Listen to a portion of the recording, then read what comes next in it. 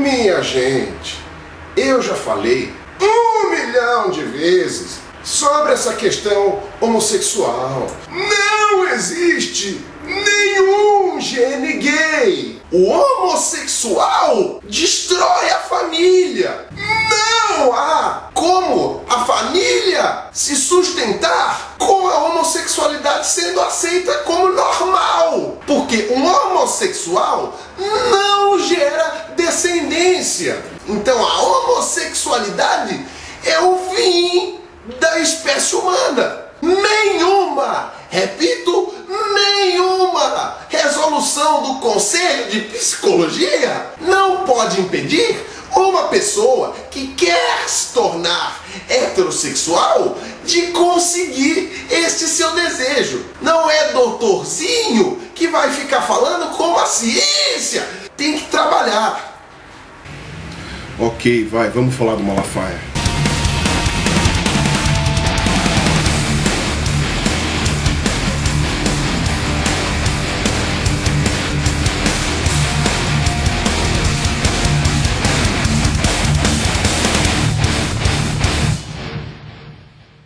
Olá pessoas, esse é mais um vídeo meu aqui na internet. E muita gente mesmo tinha pedido para eu comentar sobre a entrevista do Silas Malafaia na Marília Gabriela, que já faz um tempão, já virou assunto, já morreu, mas ainda assim as pessoas continuam me pedindo para falar. E eu não queria falar exatamente porque todo mundo já tinha dito. Teve aquele vídeo do Eli que viralizou, teve o Clarion que falou, teve um monte de gente que comentou, agora até o Huawei falou, tipo, eu não tenho necessidade, acho, de falar mais sobre o Silas Malafaia. Além do que, naquele meu vídeo Homossexualidade um ponto final, eu já abordei tudo que eu queria abordar do ponto de vista científico, a minha pesquisa pesquisa científica sobre homossexualidade eu fiz ali naquele vídeo, tá lá. Aliás, o pessoal achou o título daquele meu vídeo pedante, né, homossexualidade, um ponto final. Gente, eu não quis com aquele ponto final dizer que eu tava dando um ponto final no assunto homossexualidade. Eu quis dizer que pra biologia a homossexualidade não é opção e ponto final, sabe? Foi basicamente isso que eu quis dizer, mas tudo bem, vai. Eu entendo que as pessoas tenham compreendido errado. Mas dentro da biologia, e eu acredito dentro da psicologia também, não há mais discussão sobre essa questão da homossexualidade. Ela não é uma opção do indivíduo. É só, é só o pessoal das ciências sociais ainda ainda que teima com outras coisas. Mas, o que acontece? O pessoal das ciências sociais é dividido em dois tipos: aquele pessoal que nega conhecimento biológico e o pessoal que não nega conhecimento biológico. O pessoal das ciências sociais que nega conhecimento biológico, que tem as mãos pro Malafaia e vão pro quinto dos infernos.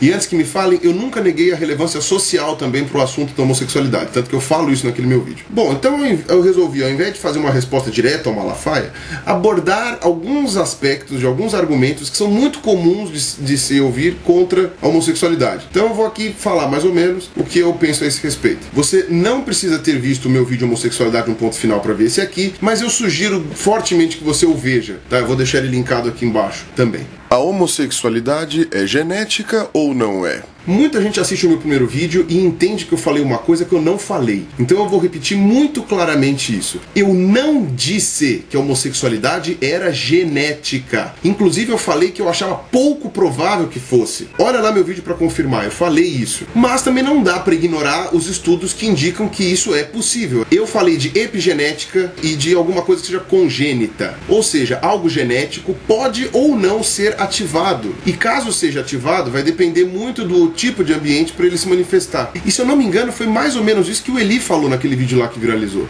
O que eu frisei é que as pesquisas em biologia apontam que o, o ambiente que realmente interfere nessa construção é o intrauterino e não o extrauterino. Ou seja, um feto na barriga da mãe tem capacidade de fazer escolhas? Não, não tem. Ou seja, a homossexualidade não é uma opção do indivíduo. Ponto. Quando Malafaia fala que não existe um cromossomo gay, é sério, ele demonstra uma ignorância tão absurda com relação à genética que dá vergonha vergonha. É sério, dá vergonha. Sabe por quê? Porque a existência de um gene gay não implica na existência de um cromossomo gay. Cromossomos são só a forma como o material genético se organiza. Um cromossomo não dá informação nenhuma. O gene é que dá informação. Um gene gay poderia estar escondido numa perninha de algum cromossomo. Aliás, como todos os genes que existem no mundo estão escondidos em algum lugar de algum cromossomo. Sabe? Você não precisa de um cromossomo extra para ter alguma coisa gay ou não. E aí tem aqueles caras que falam que Deus fez a mulher XX e o homem XY, tá? Vocês precisam estudar um pouco mais também sobre genética porque tem muito indivíduo por aí que é XXY, XYY ou até X0. Então encerramos essa coisa de cromossomo aqui. Se homossexualidade não é escolha, pedofilia também não é. E aí, vamos permitir a ação dos pedófilos? Pedofilia também não é uma escolha. A pessoa não escolhe sentir atração sexual por crianças. E isso, para alguns pedófilos, inclusive, é motivo de sofrimento. É por isso que muitos deles, inclusive, interpretam que essa vontade deles de fazer sexo com crianças é um chamado para castidade. E aí muitos acabam virando padres, né?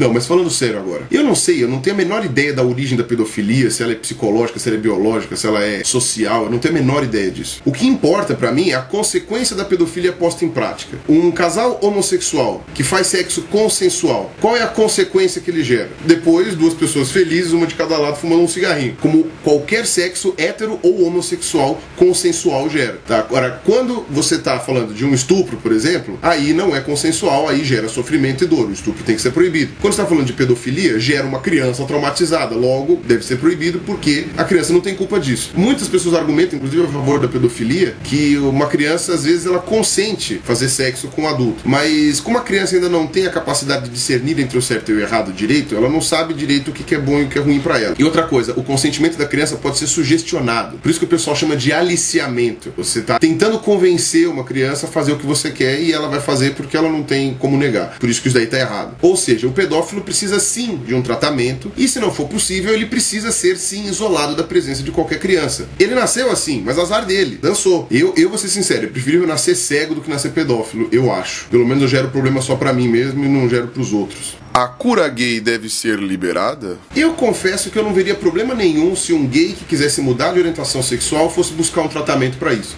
E vice-versa, não veria problema num hétero fazer o mesmo também. Se um hétero quiser passar a ser gay, também não vejo problema nisso. O grande problema, e é por isso que o Conselho de Psicologia não permite isso, é que não existe nenhum tratamento de cura gay. Não existe. Não existe nenhum método testado, bonitinho, com eficácia comprovada que faça a pessoa deixar de ser gay. Não existe. Ah, não existe. Como eu falei no meu primeiro vídeo, o que determina a sua orientação sexual não é o seu trejeito, não é o seu comportamento, é o seu tesão. É isso que vai decidir se você é homo, hétero ou intermediários. Até onde eu saiba, as curas gay apresentadas hoje, elas só limitam comportamento, elas não mudam o tesão. Na hora H mesmo, o sujeito tá lá pensando no Tião e a mulher tá lá pensando na Marião. Eu vou deixar aqui embaixo três vídeos, tá? Um do psicólogo Thales, que é, é, conhecido nosso, que fez um vídeo muito legal, e dois de um amigo meu, que é o Adriano, que ele coloca os vídeos dele com o codinome de Frank Java, ele tem doutorado em psicologia, e ele fez dois vídeos excelentes também sobre esse tema. Assistam lá para ver uma visão da psicologia sobre isso. Inclusive, em um desses vídeos, o Adriano Frank Java dá uma sugestão de experimento em que você coloca o cara pelado lá, põe ele para ver um pornô gay. E aí você vê o índice de excitação do cara. Se começar a subir o negócio lá, tipo,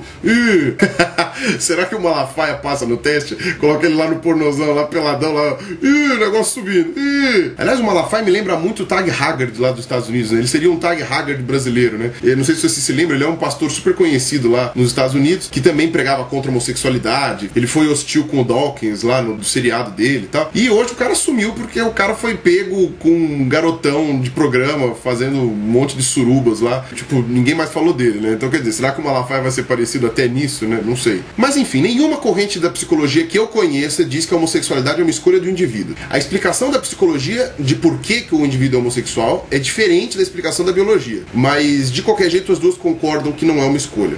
Se gays adotarem crianças, elas se tornarão gays. Isso só seria possível se ser gay fosse uma escolha, e não é. Então a criança não vai virar homo, bi ou hétero, ela vai ser o que ela já é. Inclusive tem a mãe de um amigo meu que é psicóloga e trabalha num projeto, sei lá o que, em algum lugar aí, em que eles dão suporte para crianças que foram adotadas. E dentre essas crianças que foram adotadas, aparentemente tem três casais homossexuais que adotaram crianças. Entre homossexuais, mulheres e homens. Aparentemente você consegue fazer com que o juiz aprove essa adoção aqui no Brasil, dependendo da situação. Eu não sei como funciona isso. Ela disse que não só essas crianças não demonstram nada que denote ou que indique que elas são gays, como uma delas, pelo menos, até afirma que não quer casar com alguém do mesmo sexo. É uma menina que foi adotada por dois homens. Ou seja, não influenciou. O que influencia, que foi o que ela me disse, é que os casais gays têm uma tendência a serem muito exigentes com seus filhos. Tá? E isso gera uma discrepância com os outros casais que não são exigentes. Ou seja, o que está faltando para os casais héteros no ponto de vista de educação está sobrando nos casais gays. Inclusive, olha a lógica, eu não vou nem polemizar aqui, tá? Imagina que uma mãe acabou de ficar viúva e tem que criar o filho dela sozinha. E ela tem a ajuda da irmã dela. Aquela criança, um menino, digamos assim, vai ser criada por duas mulheres, a mãe e a irmã dela. Mas aí não tem problema, são consequências da vida, não tem o que fazer. Agora, se for a companheira dela, ah, é um absurdo, ela vai virar gay. E dá para fazer o vice-versa também com homens. Vai te catar, vai. A lógica de vocês não se sustenta nem nela mesma. Mas uma coisa o Malafaia tem razão. Ele fala que na fila de adoção, o número de casais homossexuais é minúsculo. E é claro, porque o número de casais homossexuais na sociedade é minúsculo. Sabe, isso não é um argumento para ser contra ou a favor.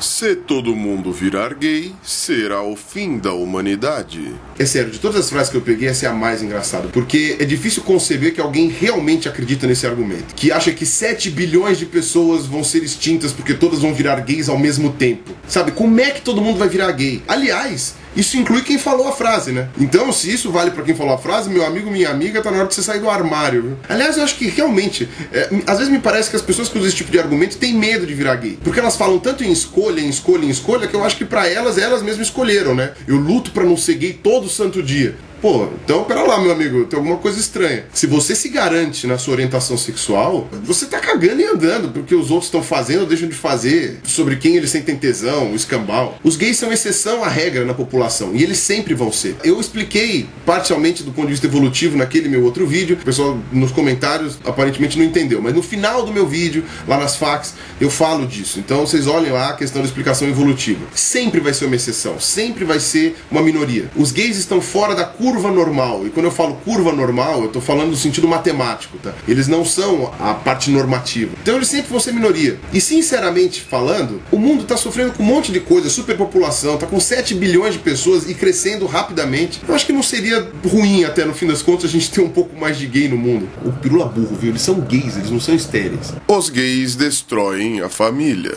Ok, essa eu vou pegar pesado, porque esse argumento me irrita. Eu vejo muitas famílias sendo destruídas por aí. Nenhuma foi destruída por causa da homossexualidade. O preconceito sim destrói famílias, a falta de caráter, a falta de honestidade, o álcool destrói famílias. Sabe, o pessoal fala aqui de família destruída. Então vou perguntar para vocês aqui: quantos aqui que estão assistindo esse meu vídeo foram criados por uma mãe sozinha porque o pai saiu de manhã cedo um dia para comprar cigarro e não voltou mais. Também conheço exemplo de gente que a mãe deu para não sei quantos, nem sabe quem é o pai, aí criou seu filho sozinho. Quantos aqui não foram largados pelos pais para serem criados pela avó ou pelo avô, ou para serem criados pela televisão, pela internet, sabe? Enquanto os pais caíram na farra, ou que os pais estão cagando e andando para você, não estão nem aí porque você faz ou porque você deixa de fazer, sabe? Eu conheço um monte de exemplos. E a violência doméstica? É o pai que espanca todo mundo, mulher, filho, é a babá ou a empregada que espanca a vovó, que espanca a criança, é o filho que espanca a mãe depois que fica idosa, é a mãe que espanca o filho quando é criança. Inclusive o Malafaia citou um artigo, que depois o Eli no vídeo dele mostrou que até a citação estava toda errada, mas dizendo que 40 e tantos por cento dos gays são gays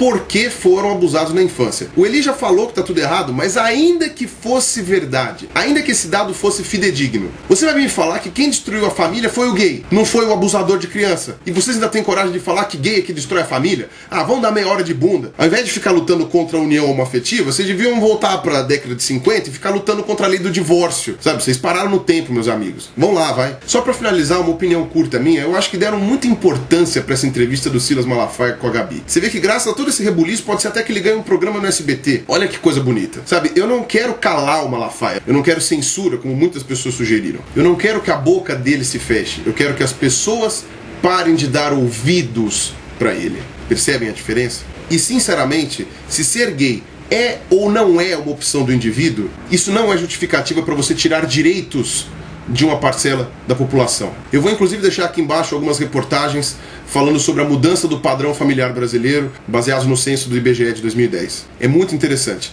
Deem uma lida, reflitam sobre isso. Obrigado para todo mundo, um abraço para vocês e falou!